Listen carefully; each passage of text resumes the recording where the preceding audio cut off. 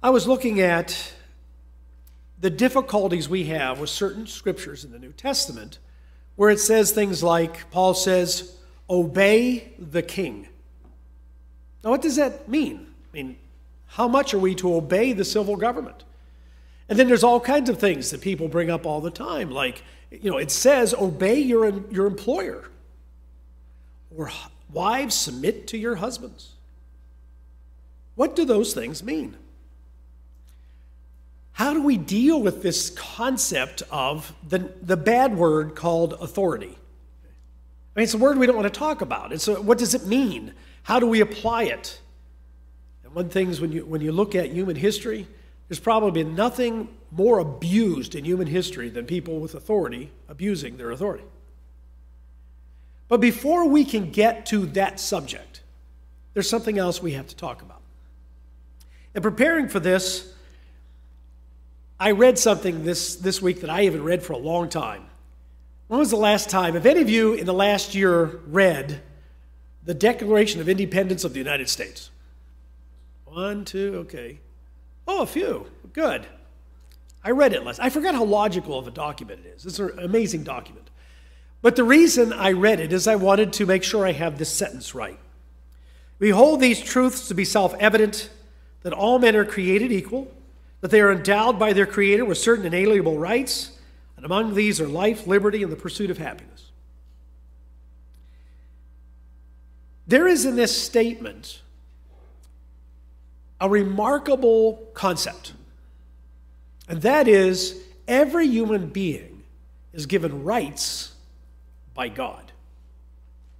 Now, Thomas Jefferson had difficulty with this when he wrote it. He would, he would write at other times about the difficulties he had because he was writing this while holding slaves, which he realized was a, a hypocrisy. And he had a hard time dealing with it.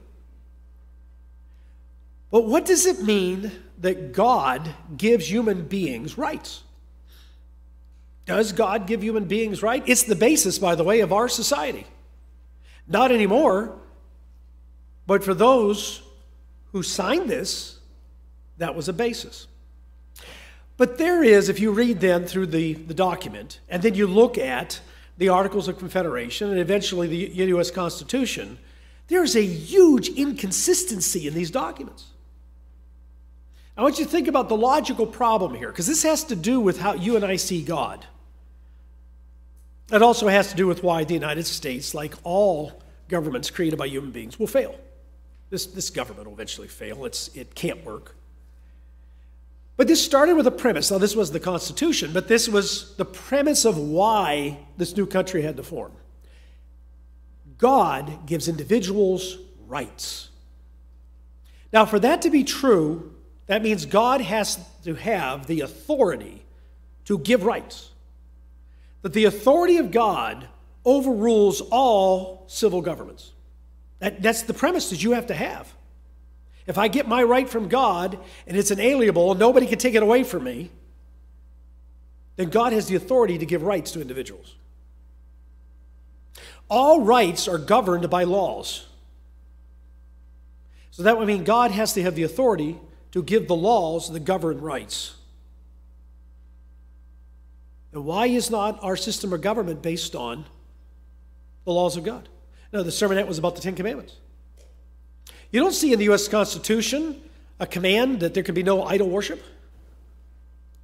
It's not there. The U.S. Constitution isn't based.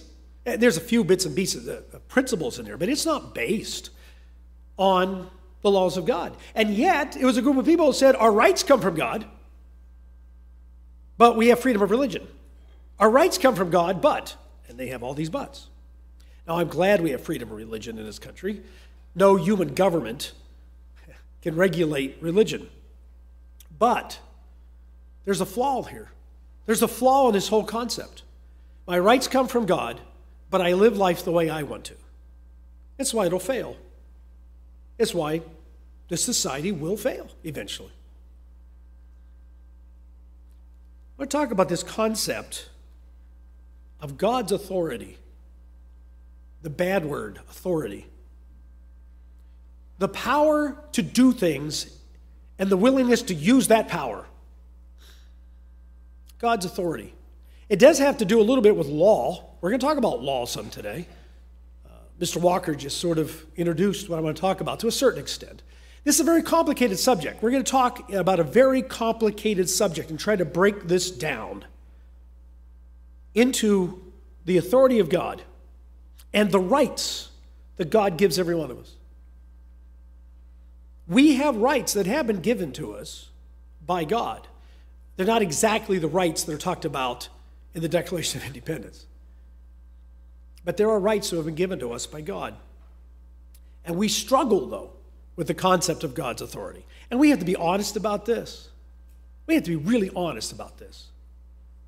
Human beings, all of us, at times struggle with the concept that God can tell me what to do. What right does He have in my life to tell me what to do? Now, we might not say it that way, but we feel that way. God must not understand. Why would God have me do this? And why does he say he has the authority to do it? I'm going to start with the greatest right that God has given to you. That every person in this room has a right given to you by God. Let's go to Genesis chapter 2.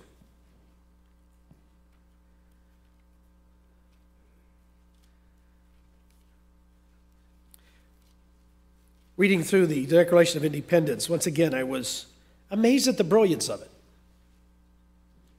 that we have to form a government to protect the rights God gave to us. But there was no movement to actually create a, a country that submitted to God because they would have had to force a religion. A religion what Thomas Jefferson disagreed with. He was a deist, so he would have never accepted even what mainstream Protestantism believes today. So, you know, they all had different ideas of what Christianity should be, too. But that's not really the subject today. Genesis 2:15. Then the Lord God took the man and put him in the garden of Eden to tend and keep it. And the Lord God commanded the man saying, "Of every tree of the garden you may eat freely, but of the tree of the knowledge of good and evil you shall not eat, for in the day that you eat of it you shall surely die." God gave Adam and Eve, and all of us have the same right he gave us the right to choose. Now, we have to understand what that really means. He says, I'm going to give you the right to choose. But first, I'm going to tell you the right choice. And then I'm going to tell you if you make the wrong choice, it gets really, really bad. But I am not going to make you make the choice. Uh, how easy would it have been for God to make them make the choice? He could have put them in an environment where they never could have made a choice. He could have said, You have free will, and then actually kept them from using their free will. He could have done that very easily. He could have controlled their thoughts. Understand, Satan didn't get into the garden because he snuck in. God didn't say, How'd he get there? He came in because God gave him permission to come in. He was there because of God's authority, God's power. Satan doesn't do anything, we'll talk about this in a minute, that isn't within the limitations of what God tells him he can and can't do. So Satan came into the garden because Adam and Eve had the right to make a choice.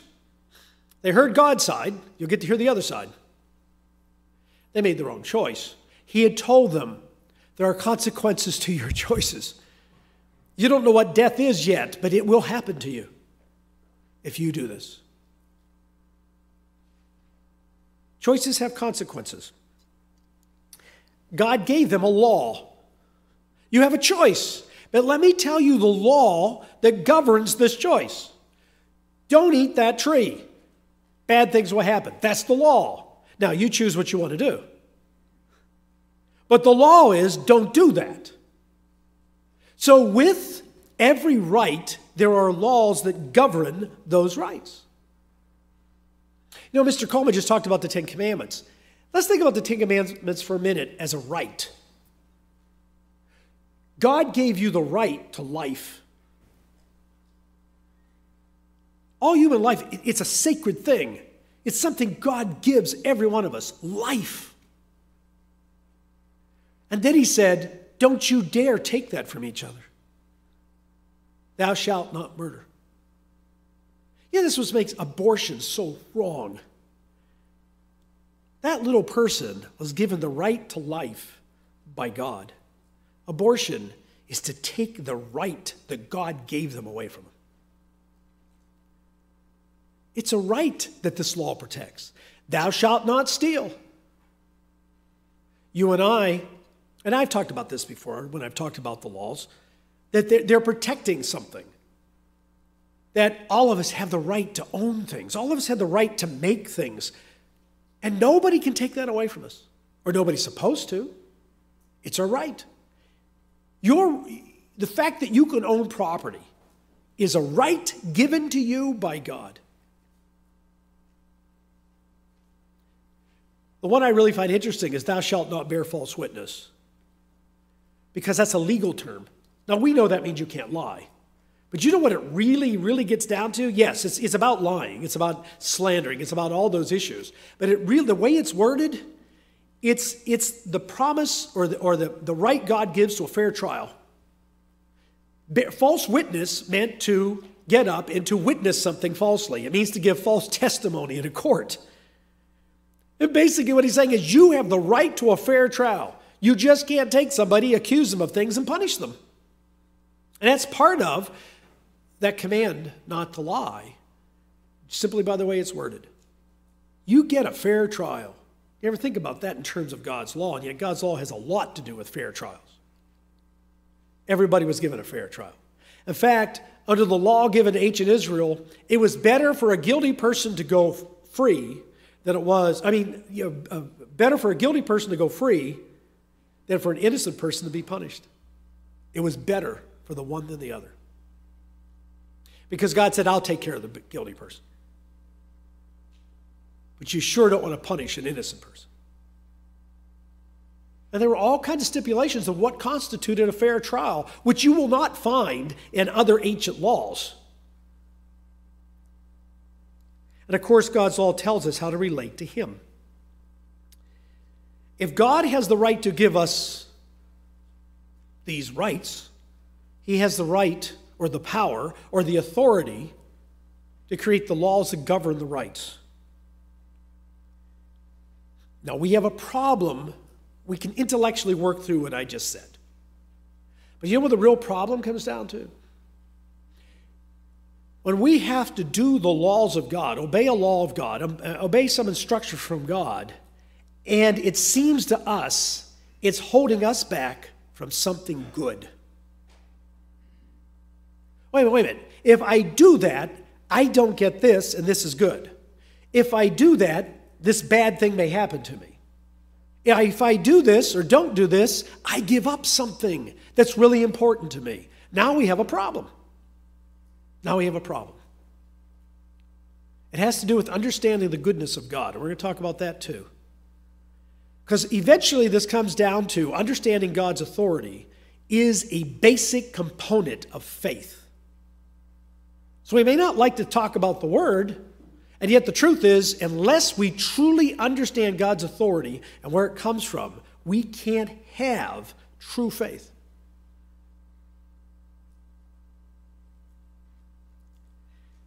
Let's look at something that God said to, to an ancient king. This is to Cyrus. Cyrus was the king of Persia. At the time, he was the most powerful man in the world. Let's go to Isaiah 45. There's many, many passages I could read that would make this point. I, make the, I use this passage simply because of who he's talking to. He's talking to the most powerful man in the world. And he wants him to understand his relationship to God. Okay, this man was the king of the Persian Empire, which at this time extended from way over into India, clear through the Middle East. He would have been the most wealthy man in the world and had more power than anybody in the world, and basically could do whatever he wanted. And God says this to him Isaiah 45, verse 9. Woe to him who strives with his maker. So God goes to the most powerful man in the world, tells Isaiah to tell him, Woe to you, you're in trouble for resisting me, and I'm the one who made you. And this is going to be the basis of God's claim to authority. Let the potsherds strive with the potsherds of the earth. Now, that's a, that's a real interesting little statement. He says, You know what you're like? Most powerful man in the world? You're like a pot that got all busted up, and you're a little chunk of a broken pot. So if you really want to strive and show how tough you are, just deal with other little broken pots, pieces of pots. Because I'm not the pot, I'm the maker of the pot. He says, Shall the clay say to him who forms it, What are you making? Or shall your handiwork say, He has no hands? Woe to him who says to his father, What are you beginning? Or to the woman, What have you brought forth? Thus says the Lord, the Holy One of Israel, and his Maker, the Maker of Israel. Ask me of things to come concerning my sons and concerning the work of my hands. You command me. I have made the earth and created man on it. I, my hand, stretched out the heavens, and all their host I have commanded. So here's what God says to the most powerful man in the world. If you understand who I am, I am your maker. I want you to look at the stars. I want you to look at the earth. I want to look at everything there is, and it's mine. And this is the basis of God's authority. God owns everything.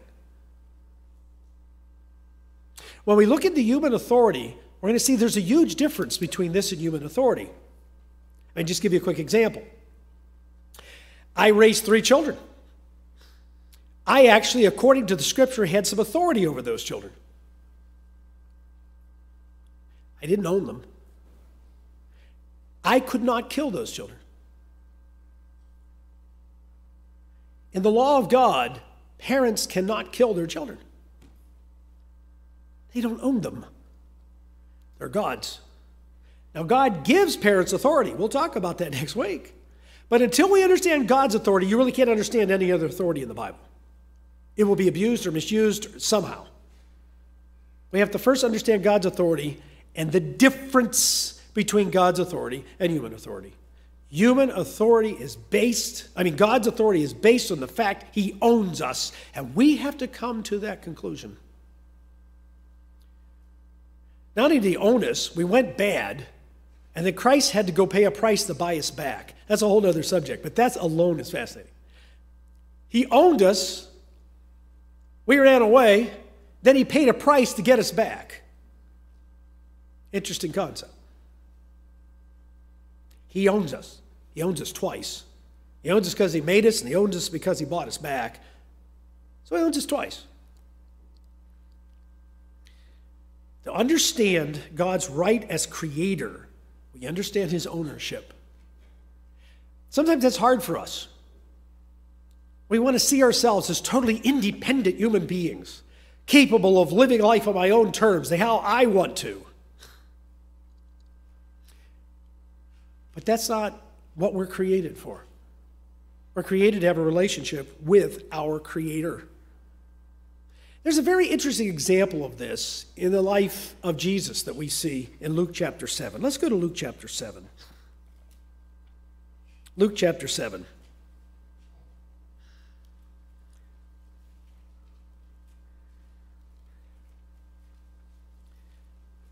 Let's go to verse 1 here.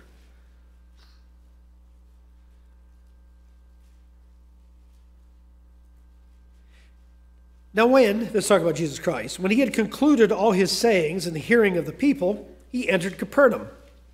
And a certain centurion servant who was dear to him was sick and ready to die. Now, this is very important because this means this centurion is a Roman soldier.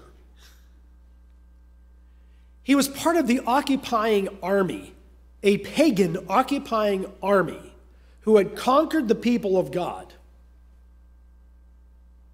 and were keeping them from fulfilling what God, all the things that God had told them to do because they were supposed to be a sovereign nation and they weren't. And he has a servant that's very sick. So when he heard about Jesus, he sent elders of the Jews to him, pleading with him that he should come and heal his servant. So obviously he had converted to Judaism. And you have, you know, he's not going to go to Jesus, and we'll see why in a minute. But he goes to some of the elders of the synagogue and he says, Would you please go to this special rabbi? It, it doesn't, we don't know if he understood he was the Messiah. It doesn't say that. But go to the special rabbi who God is working through and receive from him a gift for my, for my servant. See if God will do this. And they went and they came to Jesus and begged him earnestly, these are the elders of the Jews, saying that the one for whom uh, he should do this was deserving, for he loves our nation and has built us a synagogue. Then Jesus went with them. Now, this is very interesting. Jesus is going with them. You know, it was not, it was not common for a Jew to enter into the house of a Gentile, even one who would convert it if he was a Roman soldier. This isn't just some any other, you know, any other Gentile. This is a Roman soldier that had conquered the people of God. So Jesus goes with them.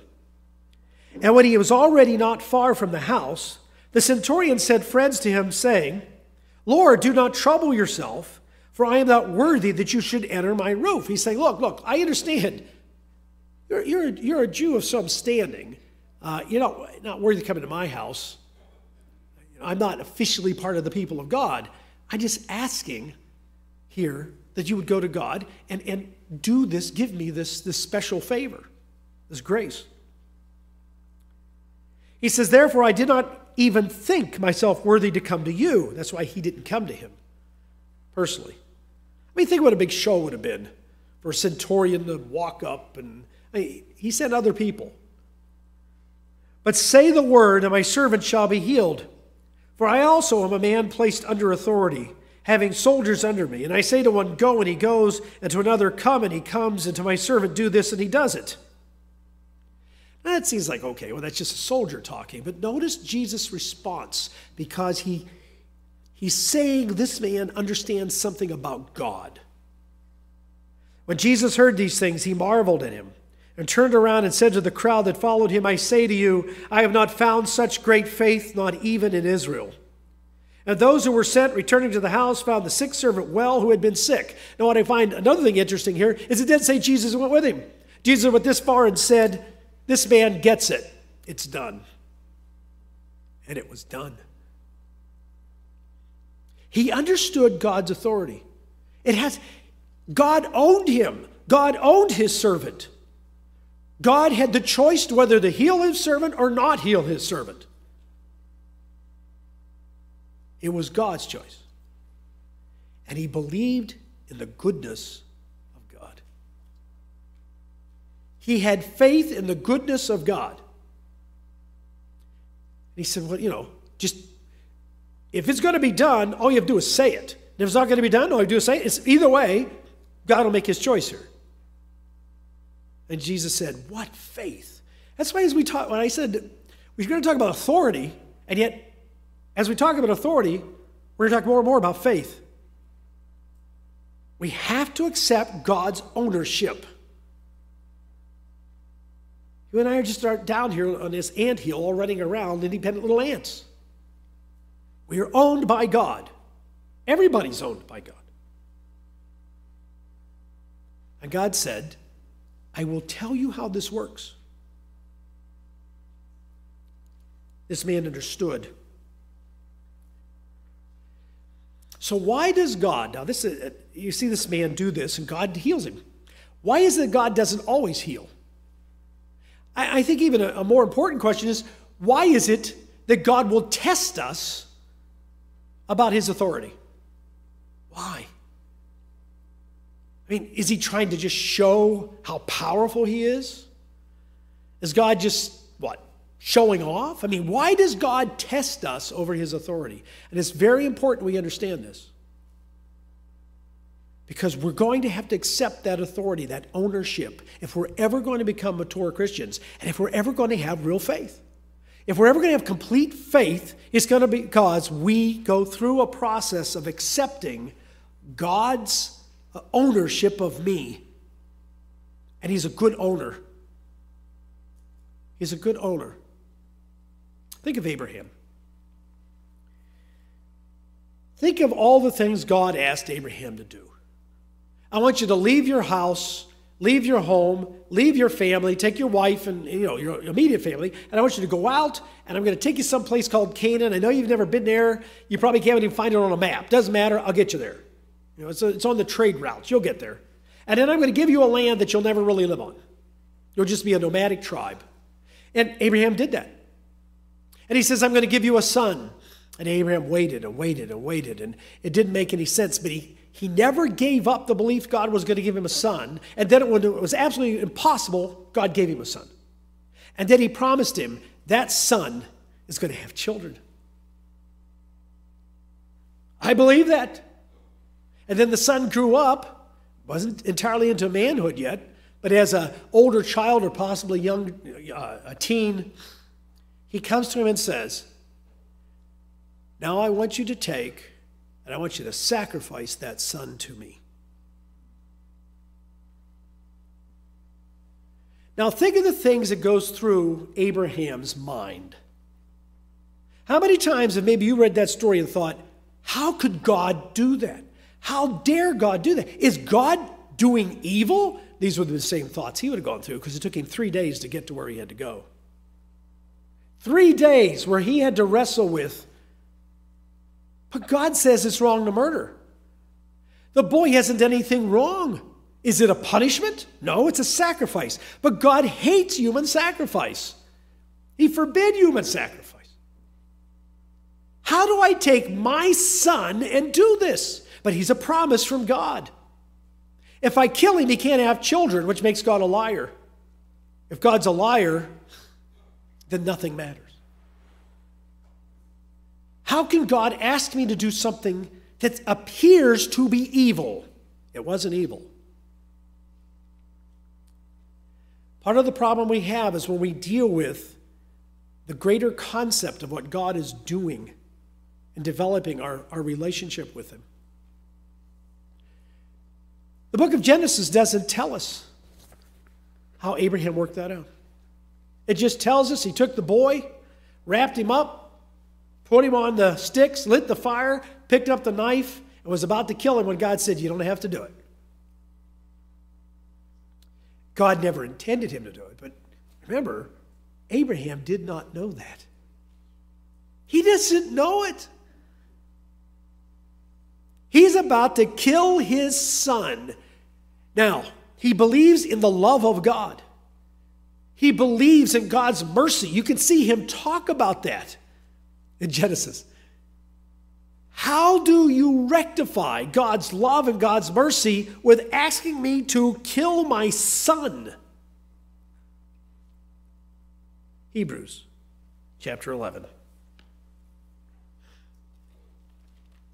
Hebrews chapter 11.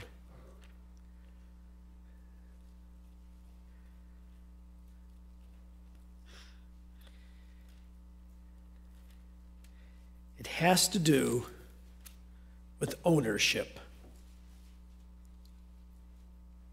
Abraham believed God owned Isaac. He believed God owned him, and God owned Isaac. He also believed in the goodness of God. He believed that God would not lie. He believed in the goodness of God. That leads him to a most remarkable conclusion. Hebrews 11, verse 17. By faith, Abraham, when he was tested, offered up Isaac. And he who had received the promises offered up his only begotten son, of whom it was said, In Isaac your seed shall be called. He's about to offer the only chance he has for grandchildren. The man, the boy who God said, I will, you will have grandchildren through him, and now kill him. You only do that if you believe God's a monster and you, you have to do it. or you do it because you believe God owns me and God owns him, and I believe in God's goodness. And God doesn't lie. Concluding, let's see, I stopped in the middle of a sentence. Here's what Abraham concluded that three days of reasoning this out, concluding that God was able to raise him up even from the dead, from which he also received him in a figurative sense. Abraham fully, completely, absolutely believed, I will sacrifice my son, and God has the right to ask that of me because he owns me and he owns this boy. And then he will resurrect him because I'm going to have grandchildren through him. That's a remarkable conclusion.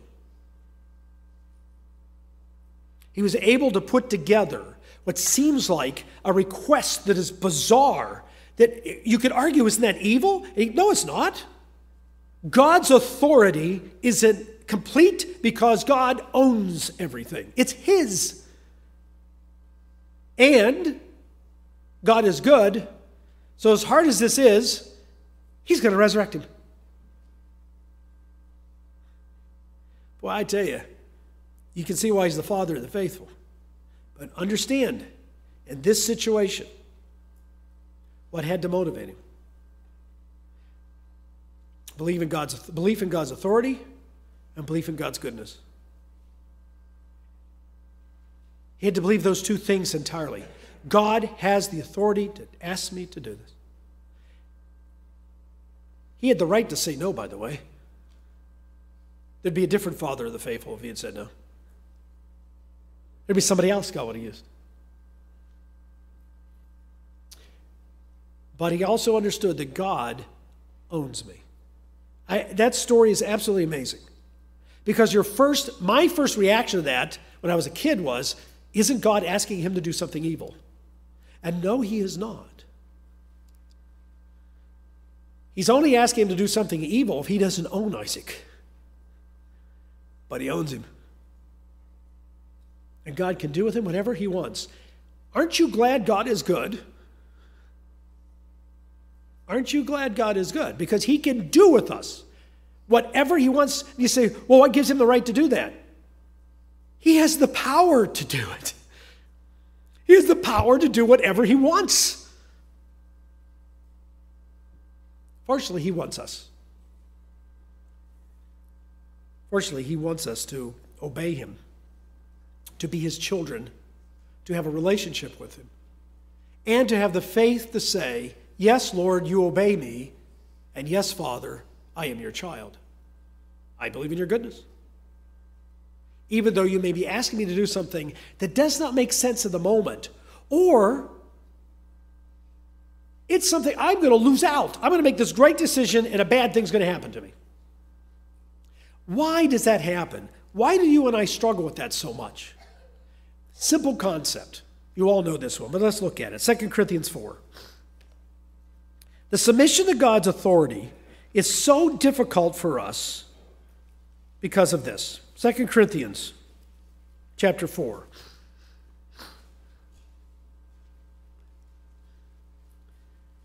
Verse 3.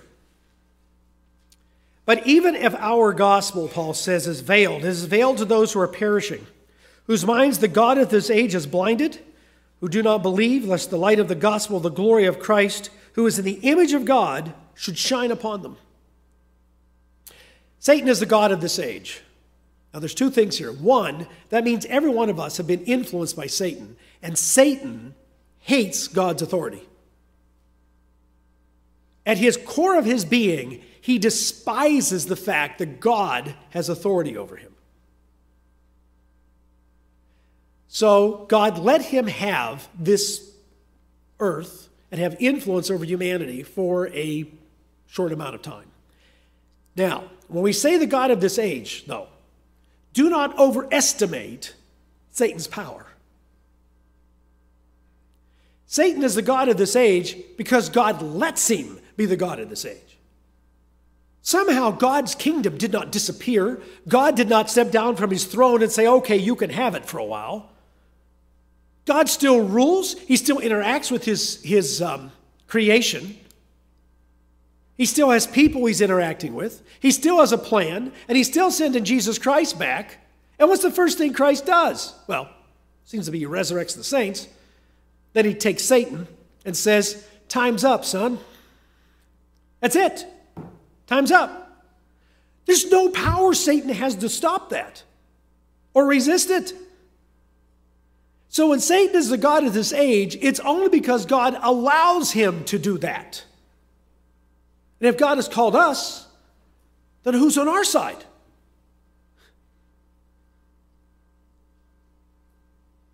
God is with us. And so this is Satan's world, but don't overestimate his power. Don't underestimate his ability to deceive. Okay?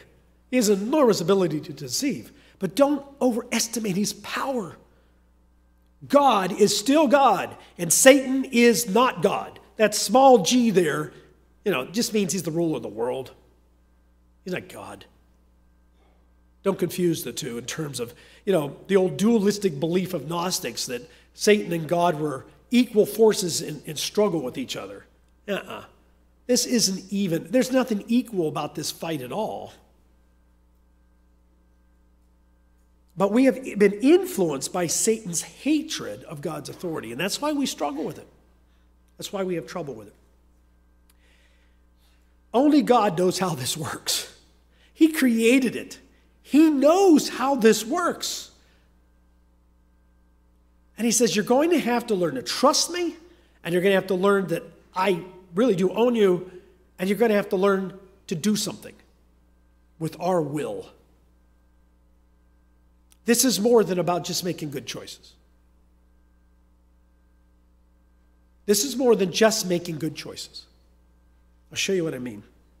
We know that Jesus came as our Savior. He also came in human form to show us how this works. This is what it is to be a human being and to be godly. Let's go to Mark chapter 14. This is one of those passages I have a hard time wrapping my mind around because I've tried to get into the mind of Christ here. What is he going through? when you realize to leave God's throne, to leave where you are, to come be like us and participate in something as horrible as about what he's going to go through by design. Once again, when those Jewish soldiers came and arrested Jesus and took him and beat him and then turned him over to the Romans and all the things they went through, all that night and all the next day till mid afternoon. It wasn't like God said, I don't know what's happened. I've lost power here, I've lost control over this. This was all designed. The reason Jesus is struggling here, because he knows exactly what's going to happen. Every detail, down to his last words, was already planned out. And as a human being, he's horrified. He's afraid. He's, he, I mean, to try to wrap your mind around, uh, you know, maybe I should just come home now. I don't want to be here anymore. Mark 14 32. This is after that night where they took the, the Passover. Then he came to a place which was named Gethsemane, and he said to his disciples, Sit here while I pray. And he took Peter, James, and John with him, and he began to be troubled and deeply distressed. I can tell you, as the Word, I don't know a lot about God. You know, he reveals to us, but I've never been to the throne. But I think it's safe in saying that as the Word, he never felt deeply distressed, okay? These are human reactions. He's having a human reaction to what he had planned to do. Then he said to them, My soul is exceedingly sorrowful, even to death. Stay here and watch. And went a little farther and fell on the ground and prayed as if it were possible. The hour might pass from him. And he said, Abba, Father, all things are possible for you. Take this cup away from me. Nevertheless, not that I will, but what you will.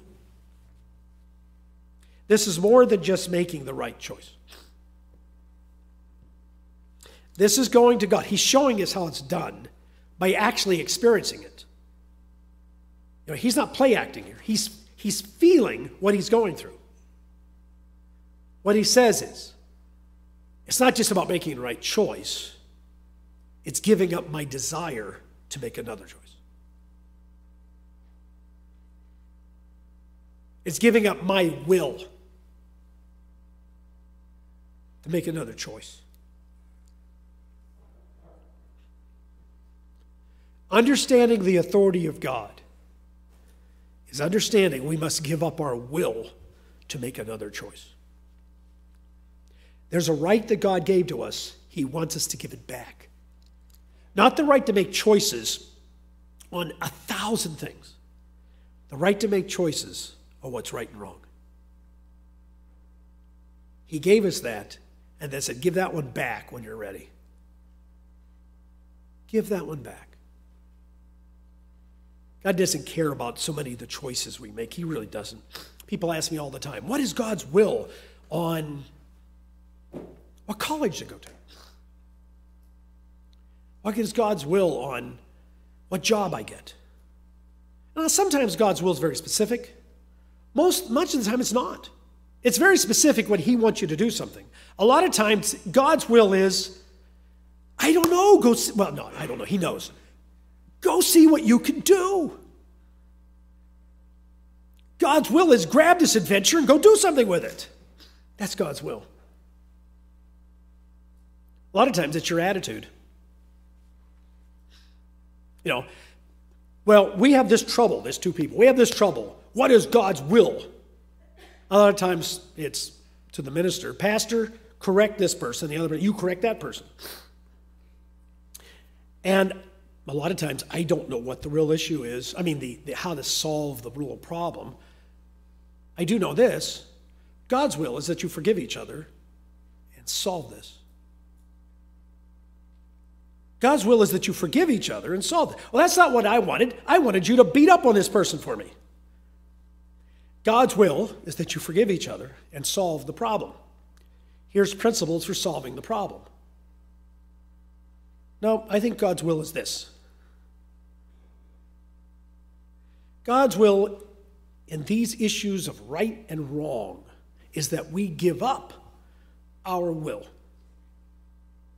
That there's absolute trust that says, okay, I don't get it, but you know what you're doing.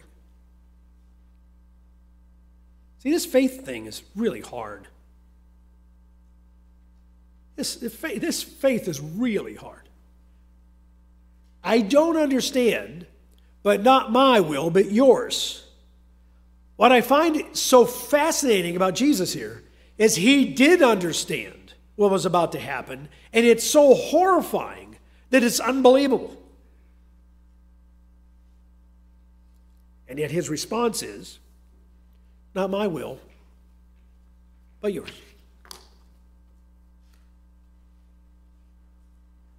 He's submitting himself to the authority of the Father to show us how it's done. In the most horrendous situation you can imagine.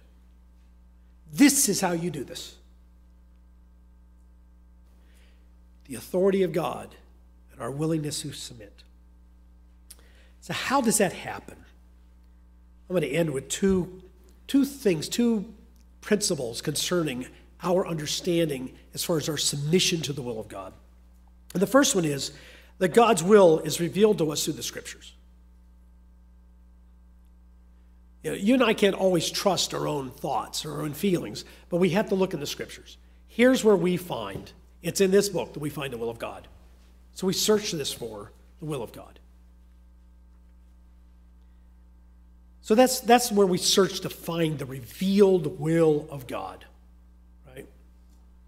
You go to any human being, human beings can give help, human beings can give advice, human beings can give wisdom.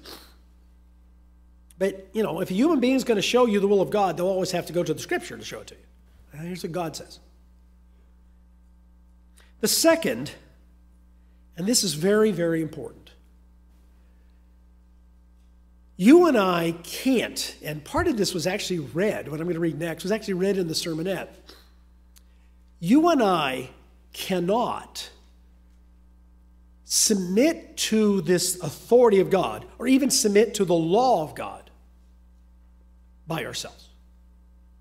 Oh, we can do little bits and little pieces of it. The real intent of God's law, you and I can't do ourselves. We can't. God has to help us do it. Look at Romans chapter 8. Romans chapter 8.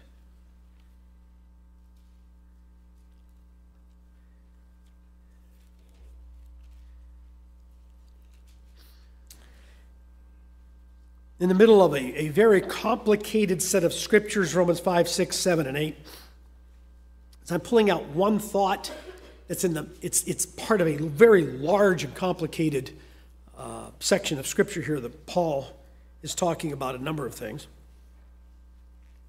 He says, verse 1 There is therefore now no condemnation to those who are in Christ Jesus, who do not walk according to the flesh, but according to the Spirit. So he says, You're not condemned when you are no longer living in this natural rebellion against God, which is Satan's state. Oh, you might be obeying uh, some of the laws once in a while, but, but you're living really in a natural state of rebellion. When we get down to it,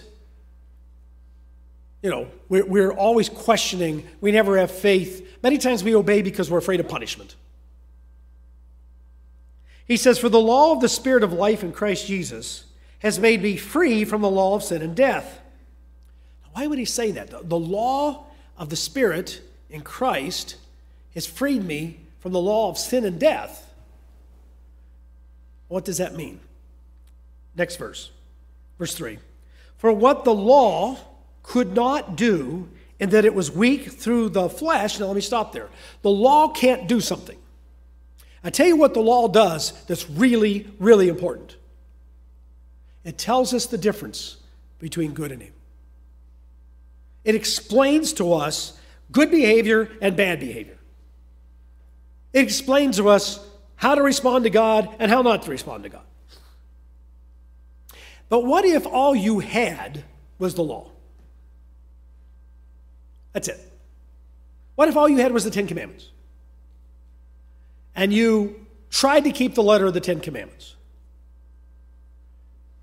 You would find, then you, and then you read the Sermon on the Mount. Oh, wait a minute, okay. I can't murder, but I can't hate either. Wait a minute, wait a minute. Okay, I never commit adultery, but you're saying I can't, I, okay, I've lusted. Okay, I you, you go through all those. Or coveting. Okay, let's find a person who hasn't coveted. That's one of the big ten. And so you'd go through the law, and if you looked at it and then understand Christ's application of it, here's what happens. The law says guilty, guilty, guilty. Oh, you did that one right. Oh, that one's right. Guilty, guilty, guilty. You end up on the guilty side of the law. What happens when you are convicted of being a criminal? You get a penalty for being a criminal. If all we have is the law, what we end up with is conviction. Because nobody keeps the law exactly, completely right. Nobody. So if all we have is the law, we ended up we end up a convicted criminal. And he says the problem with the law is the flesh. The problem with the law is, well, we keep making the wrong choices. This right God says I gave you, boy, you just mess this right up all the time. In fact, you know something? Before God calls us, because of Satan, we don't even really have free choice in, in, in, in the bigger sense because we don't even know any longer what good is. So God has to come along and open our minds and say, oh, oh, you actually have a choice here. Don't do that, do this. So the law, the problem with the law was the flesh. We, we, we can't do it. He says, God did by sending his own son in the likeness of sinful flesh. He doesn't say he came in the sinful flesh. He came in the likeness of sinful flesh. He was, yeah, he was flesh and blood like us, but he, he never sinned. On account of sin. And he condemned sin, sin in the flesh, that the righteous requirement of the law might be fulfilled in us who do not walk according to the flesh, but according to the Spirit. Now, that's a very important statement. There are those who say that the righteous requirements of the law are done for us by Christ. And that's not what Paul says. That the righteous requirement of the law might be fulfilled in us. And how do you know it's being fulfilled in you? Because you do not work according to the flesh. What happens when you walk according to the flesh? You break the law, but according to the Spirit. The motivation for this absolute subjection to God's authority, belief in his ownership and his goodness, that faith comes from God's Spirit. And you and I have to submit to the Spirit. The revelation comes through the Scripture. The ability to submit to it comes through God's Spirit. Now, you and I can resist God's Spirit. It's that problem with that right again. I give you a right to choose. But we have the power to submit. The power to change is given to us. And then this is what Mr. Walker had mentioned. He said, or verse 5 For those who live according to the flesh set their mind on the things of the flesh, but those who live according to the Spirit, the things of the Spirit. For to be carnally minded is death, but to be spiritually minded is life and peace. What's that mean, peace? Peace with God. No longer in this state of anger and rebellion because God, you're holding my life back from what I really want. But an understanding that the owner of life knows how this works and therefore I submit to it. Even though at the, in the short run, it may make me a little bit unhappy. But in the long run, I am greatly happy because I have peace between me and God. Because the carnal mind is enmity against God, for it is not subject to the law of God, nor deed can be. In other words, by ourselves, we try to keep God's law, but uh, by ourselves, we really don't like it. because we feel like it holds us back from what we want. What aspect of your life have you not given over completely to God? I guess the real question is what part of your life do you still own and say, God, you can't have it? I tell you what, that's a scary question to ask. Because you know what? Every one of us has something in our lives we're holding on to. We're saying, God, you can't have that. That's mine. Nope, nope, can't have that one. I don't care what it is your money, your car.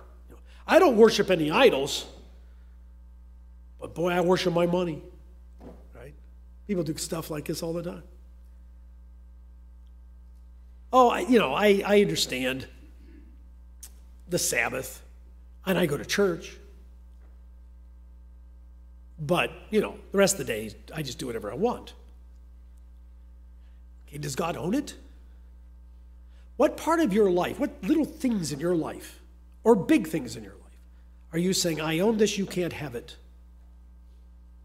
Here's the problem with that. I can just, this is reality, folks. It's not pleasant, but here's the reality. Whatever you and I hold on to and say to God, you can't have it, guess what He's going to do? He take it away from you. He can say, belongs to me anyways. It's like a child grabbing another child's toy and saying, You can't have this, it's mine.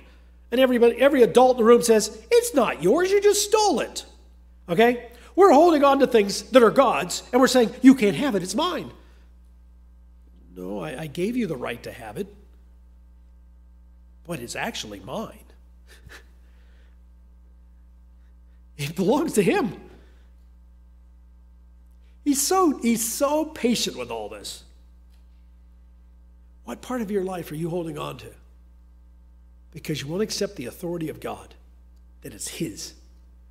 I mean, I have to ask myself that question. But God doesn't want us to be automatons. He has given us free will. And that means we have to come to accept and actually want his ownership. He made us, he owns us. He bought us through Christ, he owns us twice.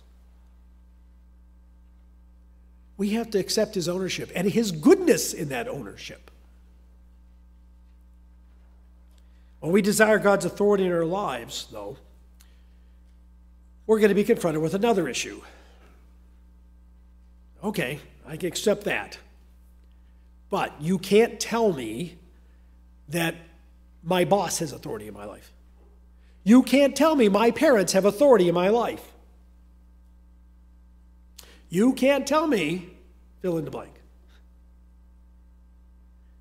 God has given authority to human beings, but there is no ownership, and that's totally different. Totally different.